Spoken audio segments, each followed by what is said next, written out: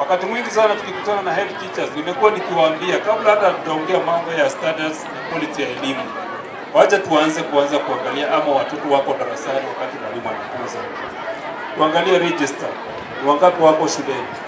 Na wewe umekuja umenisaidia, umenisukuma, umenitia nguvu kwa kazi yangu, kwa sababu sasa tutaangalia siku ya kwanza muhula ujao, tutaangalia register, ni wangapi wameripoti shuleni na tulinganishe na last term, na nakuhakikishia kwamba wote watakuwa wamefika shuleni, na kama vile Mr. Gedeji amesema, hofu yangu imekuwa ni kuwa sasa hata wale kwa private schools, kuna uwezekano wote watakuja public schools, lakini nafurahi sababu wewe nasikia wote wanaokujua wanasema hapa ni kazi tu, kwa kuwa hapa itakuwa ni kazi tu. Sasa baadaye ni kujenga madarasa, na mimi najua uko tayari, tutajenga madarasa mengi yanavyohitajika kuhakikisha ya kwamba hawa watoto wamepata elimu na sisi tuko tayari kuwapa elimu bora.